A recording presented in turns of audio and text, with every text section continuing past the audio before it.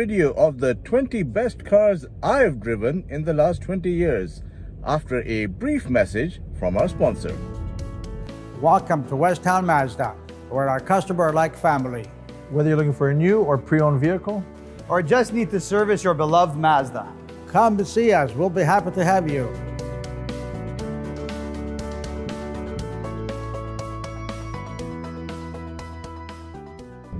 Happy New Year, everybody! It's 2020 now. Holy cow. The Millennium Party was 20 years ago. Feels just like yesterday. Maybe I'm just that old. Well, in these last 20 years, I've gotten to drive some pretty interesting cars. So I thought I'd make up a list of the 20 best cars I've driven over the past 20 years. Now, the cars on this list are the ones I've enjoyed driving the most, not talking about significant improvements in efficiency or uh, uh, technology. It's basically fun cars. Everything that I really, really enjoyed driving. So, you may disagree with my choices, but these are just my choices. So the cars on the list are um, in alphabetical order. So they're not in my least favorite of the 20 to my favorite. They're all pretty much my favorite. Without further ado, let's start with the list. The first car on the list is the new generation of the Acura NSX. The old one qualifies because they made the original NSX with some minor improvements over the years up until 2005 but while I liked that car every time I drove it I wished it had a bit more power. It felt like it needed a bit more to make it truly exciting well, they solved that issue when they introduced the new NSX in 2017 uh, with its twin turbo V6 plus three electric motor setup. It is stupendously quick. We're talking about a vehicle that'll do the 0 to 100 sprint in under three seconds. So it's a proper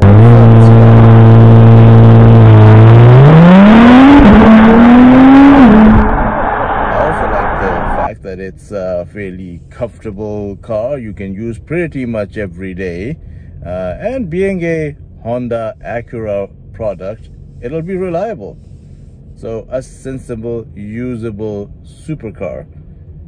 And because it's a hybrid you drive it carefully enough it's also very efficient. So it can do pretty much anything. I say pretty much anything because I have driven these in the wet, in cold climates. And the car is a little too stiff. It does like to come around on you. So, um, not the ideal winter car, but I do uh, enjoy driving these. So, Acura NSX.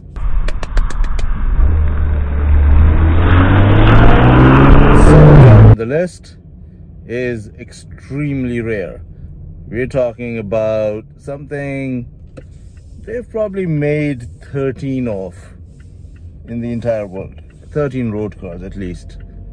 Talking about the Ascari KZ1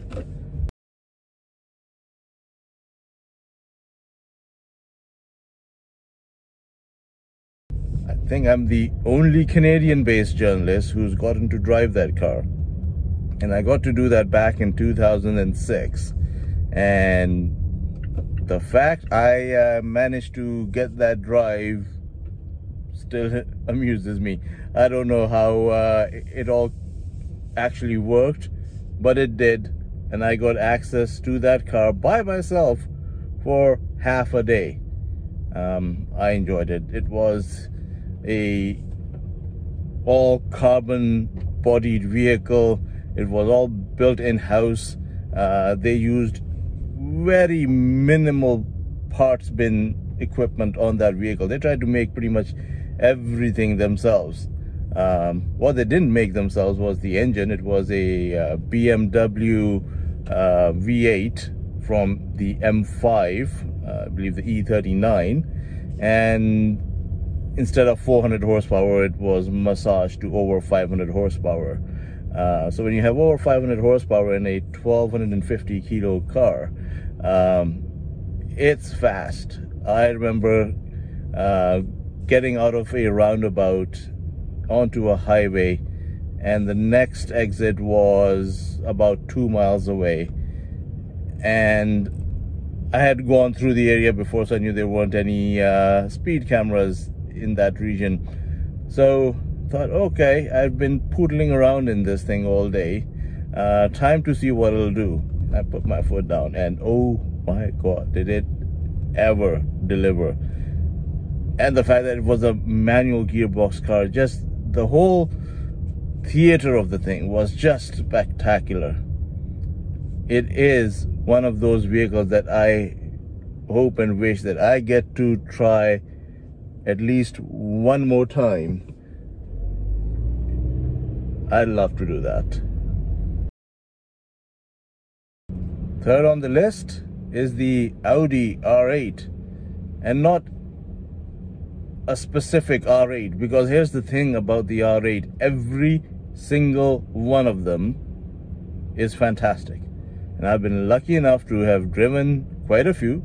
Driven coupes convertibles V8s V10s manuals R-Tronic which was the single clutch system the dual clutch transmission vehicles every single one of them has been fantastic.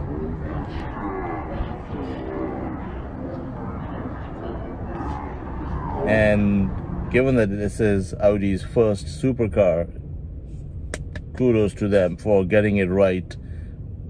And we don't know if the future holds any more R8s but what we've seen so far two generations of the model they've done a phenomenal job and um, yeah, when that car is gone, I'm gonna seriously miss it. But R8, one of the best we've seen in this decade, in the last two decades, in fact. Another car that's on my list is uh, one that has been out of production for a long time and its maker had shown some interest in bringing a vehicle like that back again, but then they didn't, and I'm sad they didn't. I'm talking about the uh, Bentley Azure. Um, Bentley has moved on to just developing different versions of the Continental series, which are fantastic cars. Um, they're fast, they're comfortable, they have all the tech. But there was just something extra special about the Azure. Um, it was an older platform. Uh, it had the big Bentley 6.75 liter twin turbo V8 engine. So effortless grunt. Um, the one I drove back in 2008 had um, over 500 horsepower. So they weren't they weren't slow. Uh, but they were heavy. Uh, they uh, weighed well over two tons.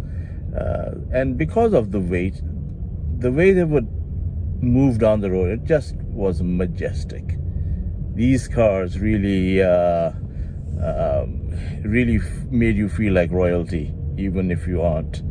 So uh, I hope Bentley does another big grand touring convertible like that again um, I'd love to see that.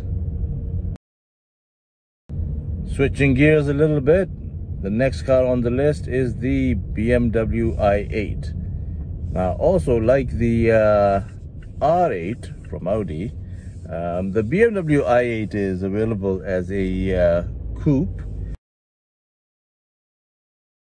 or a convertible.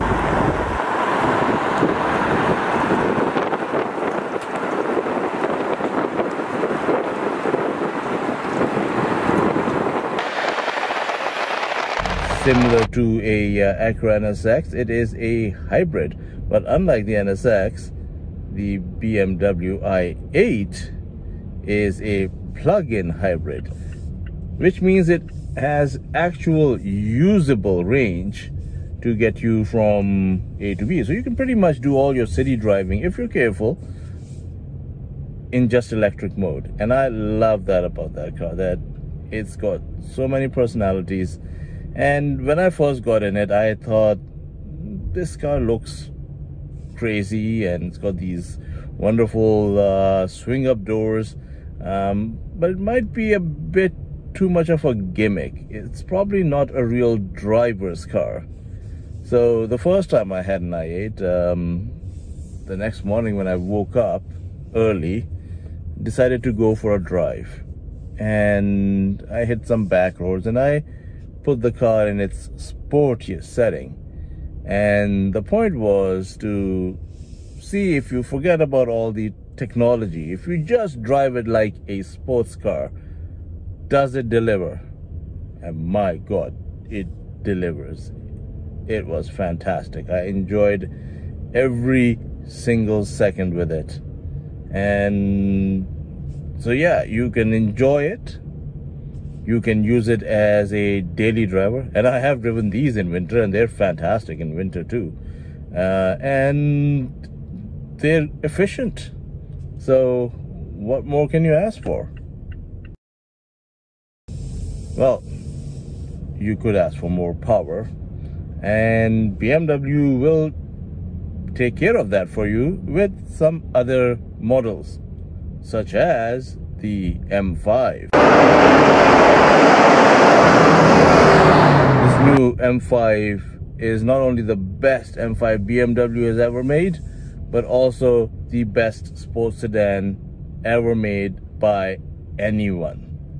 There are more powerful vehicles in this category um, perhaps vehicles uh, that look better or offer a better bang for the buck but trust me as a complete package the M5 is just very difficult to beat. So I love it. I'd love to just have an M5 for every day running around. And if I have a M5 for everyday runabouts, then I would love to add the new BMW Z4 as my weekend toy.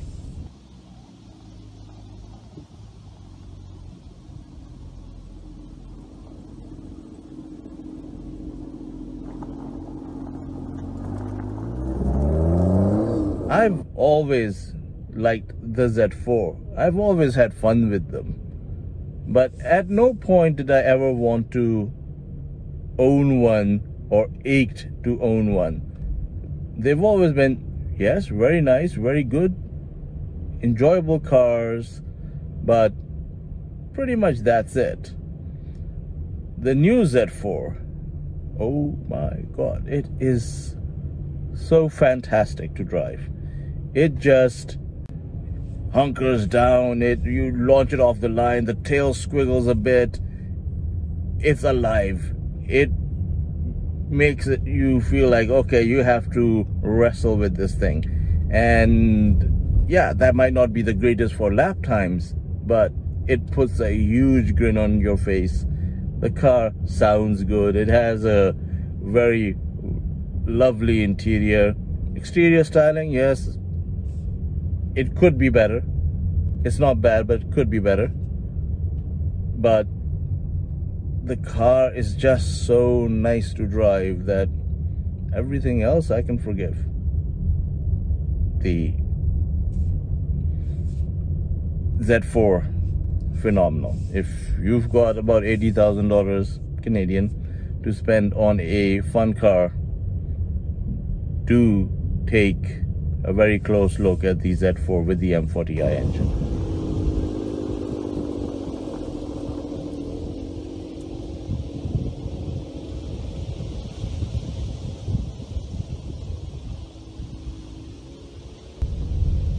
Another car that has always um, appealed in the about $80,000 price range has been the Chevrolet Corvette.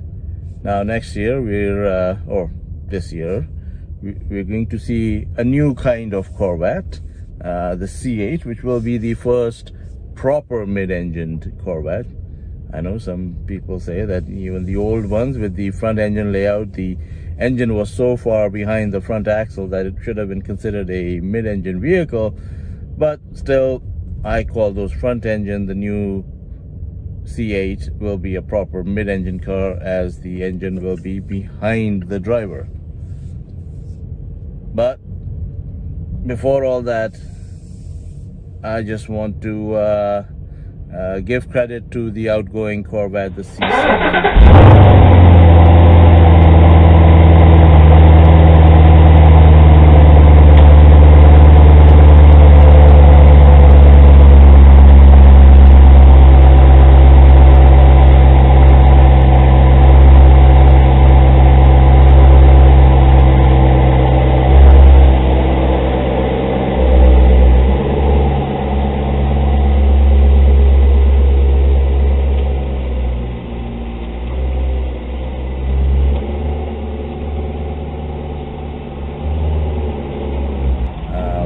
from the very get-go chevrolet got it right.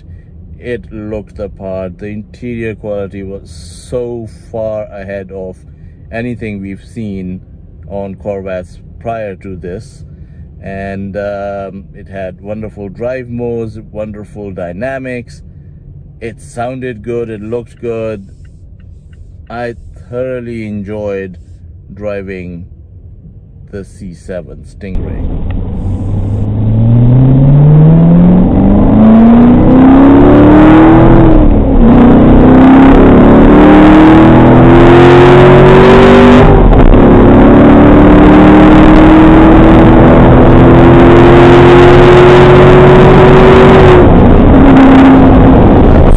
driving a very beefed up C7 Corvette made by Callaway.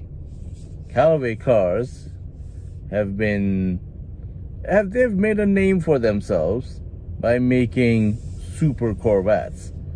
They are the people who made the Sledgehammer back in 1988, a C4 generation Corvette that hit 254 miles an hour. So they know how to make a fast Corvette. And about three years ago in 2017, I got to drive a Callaway Corvette SC 757 AeroWagen.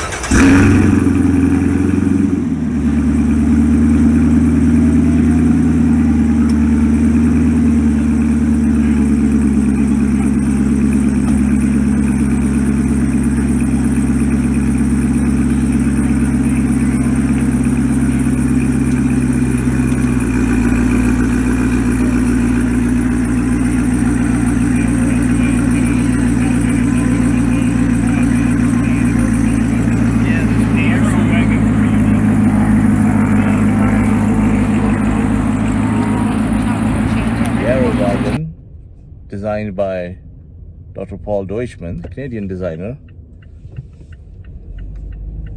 is essentially a shooting brake version of the uh, Corvette. I love the looks. I know it's not to everyone's taste, but I absolutely love the way the AeroWagen looks. And when you combine that with Callaway's performance tuning,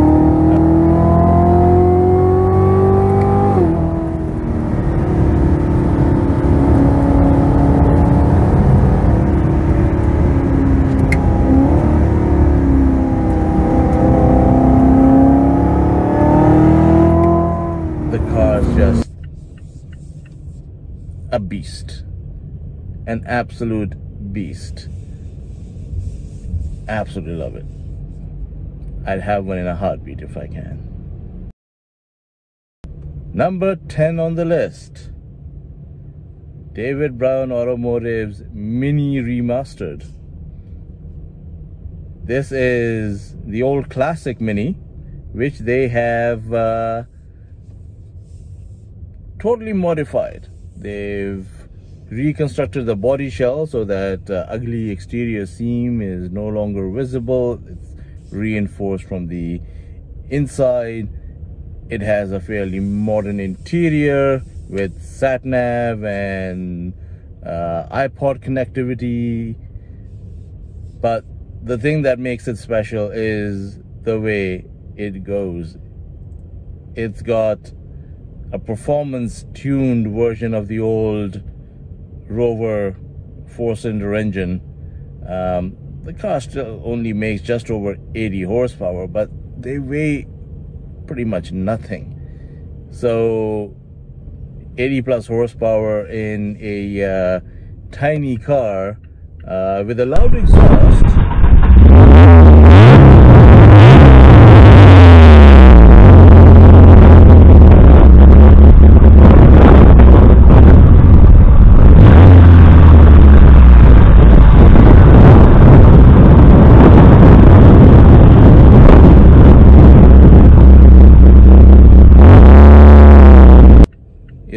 exciting.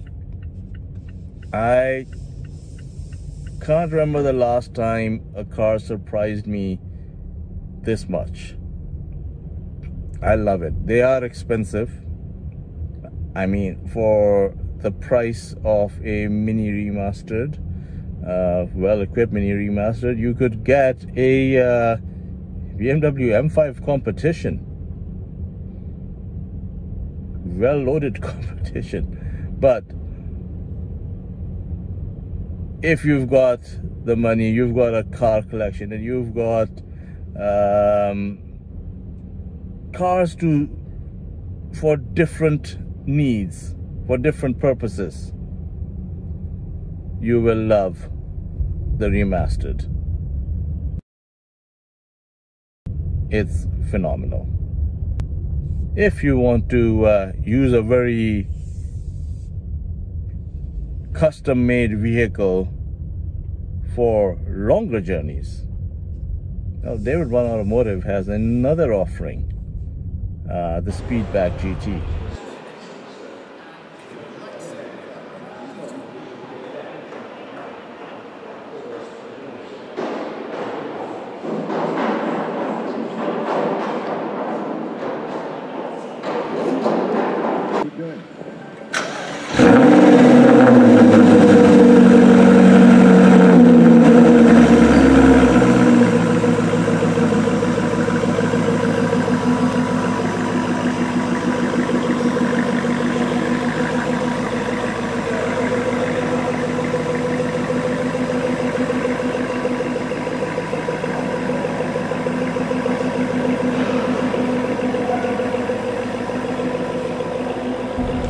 It's built on top of the platform of the uh, second generation Jaguar XK. A car I think is one of the best all-round vehicles ever made.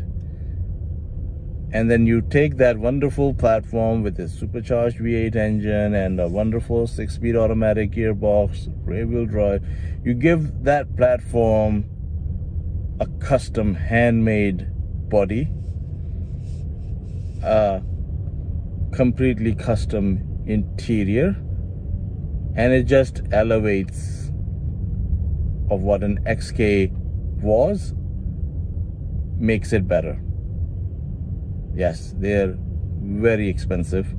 You could essentially buy nine brand new Jaguar XKRs for the price of one Speedback GT so yeah, it's not going to be bought by someone who's buying just one or two sports cars or supercars. There are people in this world who have a car collection, over 50 cars. They have helicopters, they have private jets. The Speedback GT is like a road going jet.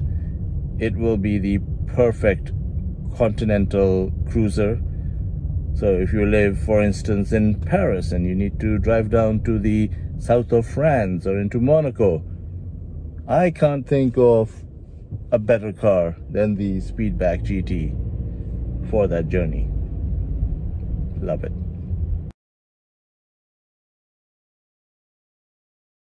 Number 12 on the list, something completely different. The Factory 5 Racing GTM. This is a kit car. But if it's built by the right person, um, the one I drove was built by uh, Ed Conda from uh, Ontario Kit Car Consultants, and it was built right. It had a K-Tech Racing V8 engine, which is General Motors sourced, uh, but tuned up to uh, a fairly, fairly healthy 600 plus horsepower. Uh, made it to a Porsche six-speed manual gearbox um, this thing was just a riot.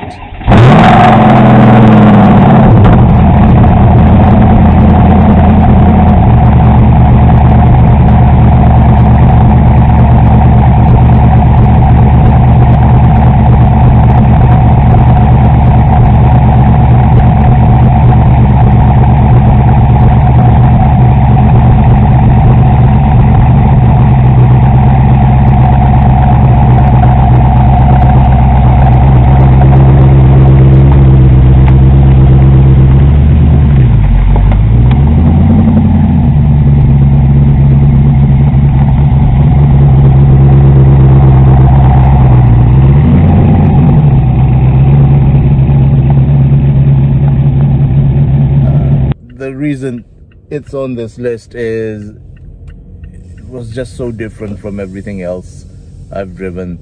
Um, yes, being a kit car, it did feel like a kit car. Yes, there was very little space in it.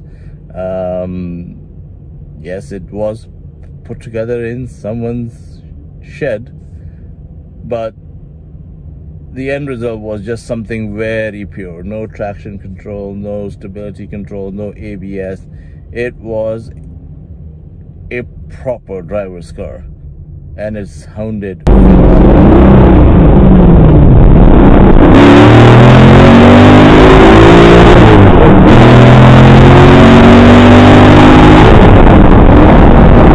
of its uh, unique experience. It's on my list.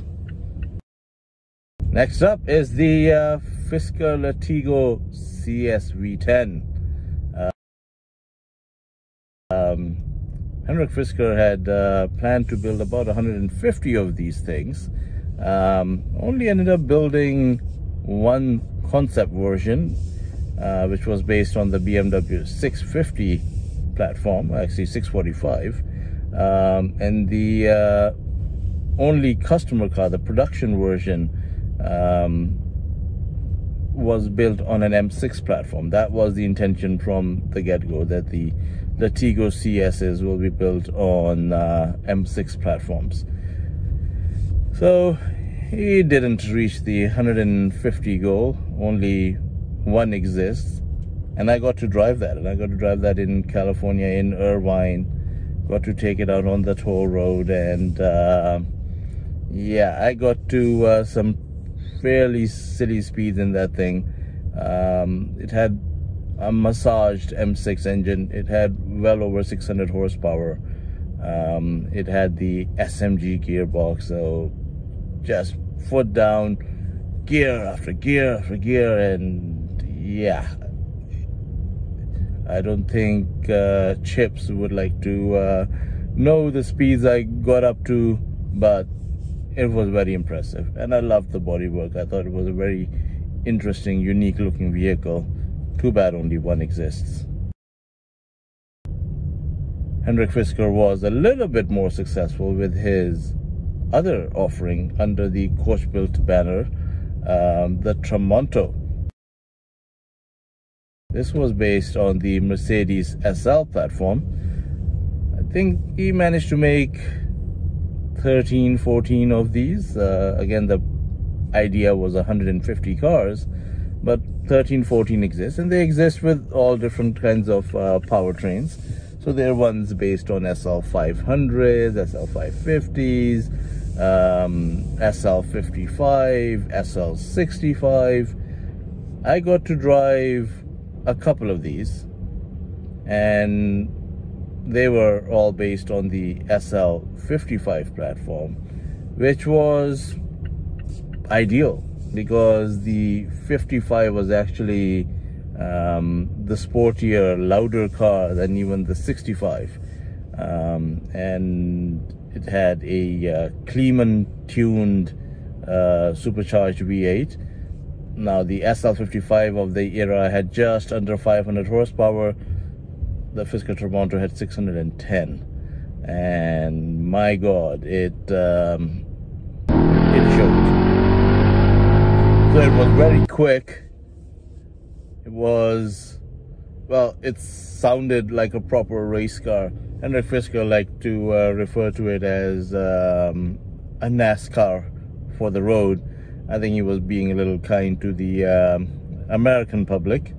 Um, I think it sounded a lot better than a NASCAR. And um, on top of the performance, I think it is quite possibly the nicest looking car Hendrik Fisker has ever designed. And the man has designed quite a few very nice looking cars. So, um, again, that's one of those vehicles I would love to have a go in again. Even though of all the cars on the list, I've probably spent most time in a Fisker Tramonto. I actually lived with one for a month. So, yeah. I'd still love to have another go in it. So earlier in the list, I mentioned the uh, Speedback GT by David Brown Automotive. And I mentioned it's based on the Jaguar XKR platform. So, of course, the Jaguar XKR needs to be on this list. And it is. It's in the number 15 spot. And while talking XKRs, I want to talk about its top performance model, the XKRS. Okay, perhaps the very limited run XKRS GT is its top performance model, but I never got to try that.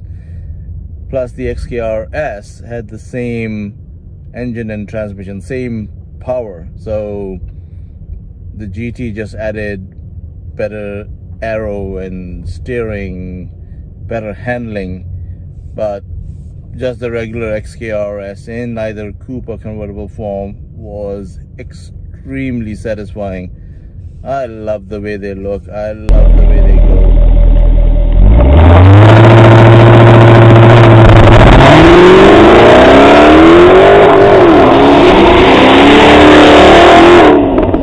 I miss those cars. The new Jaguar F-Types, they're wonderful cars and they come in all different flavors and when the F-Type was launched I initially thought okay the F-Type is probably better but as time goes on and I've gotten to sample XKRs over the years and every time I jump in an XKR I feel like I've come home it just feels right and yeah, I'd love to own one. They're phenomenal. They're thankfully not even stupidly expensive to buy these days.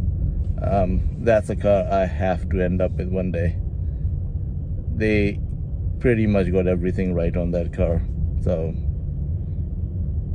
Jaguar XKRS, if you find one that fits your budget, don't hesitate. You'll thank me later.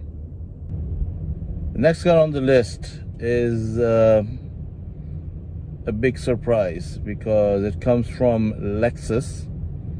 Lexus isn't really well known for making fantastic driver's cars. Um, they typically get something wrong and something very wrong. Uh, they'd have a good engine with a terrible chassis, or the brakes aren't that very good, or the suspension's too soft. But the LC500 they hit the ball right on the head from the very get-go. It's phenomenal. It looks like an alien spacecraft. I actually remember going through a uh, small northern Ontario town with an LC500 and the kids playing around probably thought a UFO had come come upon their town. Um, it's that spectacular. You combine the exterior with an equally space age interior the fit and finish the technology everything is just top notch on that car um, but combine that with a naturally aspirated V8 engine which sounds good has plenty of power. And you end up with a vehicle that you will enjoy every single time you're in it. Yeah home run from Lexus. I know Lexus had done the LFA prior to the LC500 and I hear it's phenomenal but I've never gotten to experience that. From what I have experienced the LC500 is just simply spectacular from a comfy Grand Tourer to an out and out race car which in some areas you could drive on the road. I'm talking about the Lotus Exige LF1.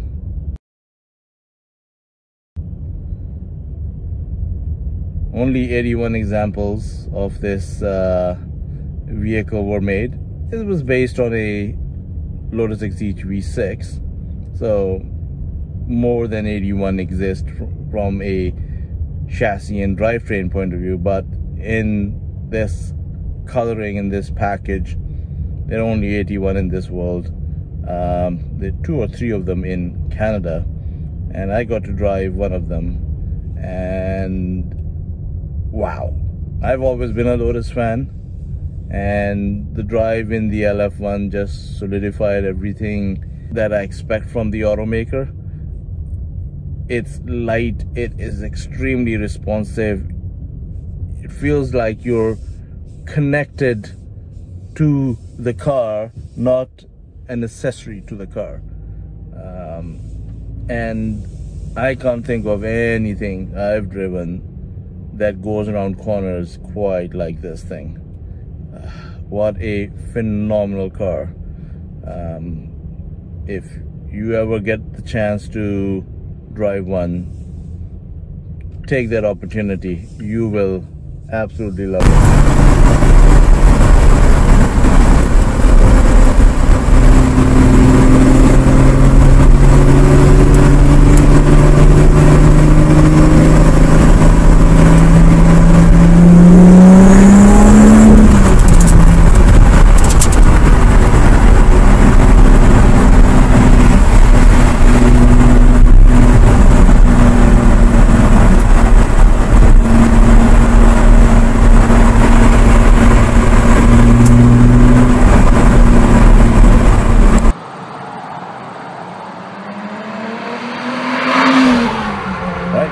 I'm driving around in a 2020 Mazda CX-9. Lovely SUV. It's not on my list of the top 20 cars I've driven in the last 20 years. But there are two cars from Mazda that absolutely earn their keep on my list. First off is the uh, MX-5. and you can pretty much choose any MX-5 made in the last 20 years put it on this list and it's fine. Because I've driven NB Miatas. I've driven the Mazda Speed version which was the only time they did a uh, factory turbocharged Mazda MX-5 uh, those were fantastic.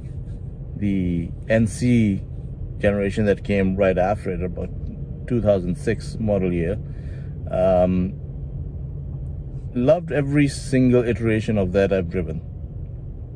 And it might just even be my favorite generation of the MX5.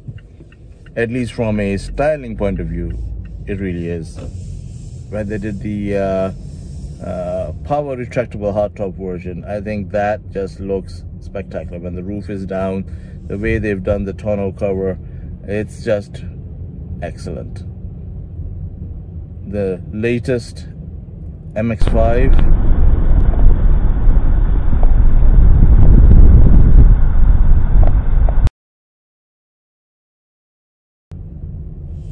thrill to drive.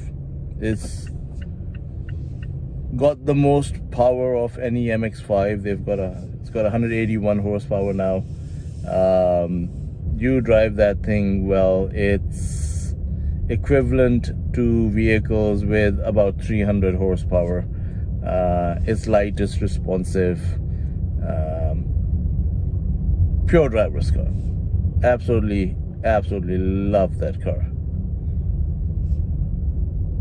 if there is a car I might love even more, it's gotta be the RX-8.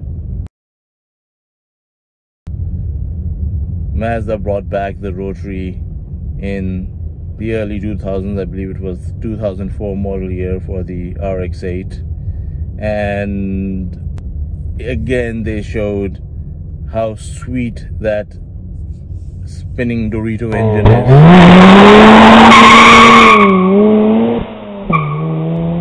Uh, the way it sounds, the way it responds. Couple that with a fantastic chassis.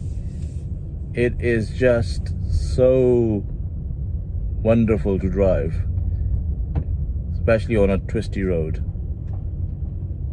I miss the RX-8. Hope I get to sample it again someday. All right, and now we come to the uh, last car on the list. Last but not least. I mentioned earlier that Bentley has given up on the big Grand Touring convertible, which was the Azure. But thankfully, Rolls-Royce has not. The Dawn is their latest convertible it's been around for a few years now and I got to drive one in the most perfect setting. I picked up the car from the Rolls-Royce factory in Chichester. That's where the Goodwood Festival of Speed takes place. I picked up the car from the factory. I had it for half a day. They had in fact said bring it back tomorrow but I was flying out the next morning and I had some distance to travel before that. So uh, I only kept it half a day, but I had so much fun. I went up the Goodwood hill climb in that car a couple of times. Had an absolute blast. And it's just the proper luxury convertible if you have the money, why wouldn't you have that car, that kind of car? Uh, it's opulence at its very best. They're over half a million dollars here in Canada. That kind of money will buy you some ridiculously fast supercar. But yeah, if you've already got that, why not have a Rolls Royce Dawn?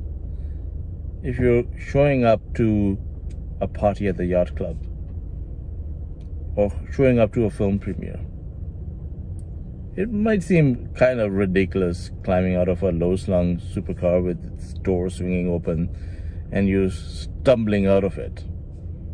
It's much more elegant when you're stepping out of a Rolls Royce Dawn, so I'd have that.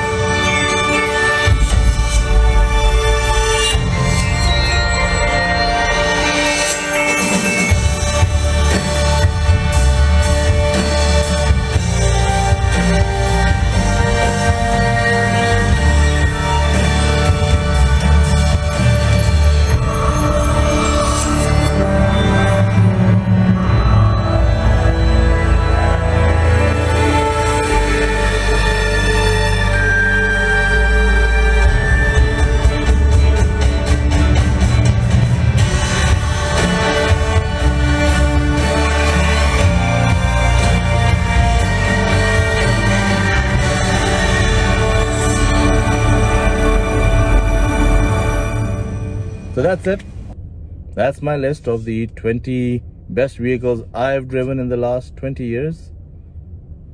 Let me know what you agree with, what you don't agree with. And uh, goal is to bring a lot more exciting, interesting videos this year. Thank you for watching. Bye. Hope you enjoyed the video. Please subscribe to Automotive Affairs and click the notification bell.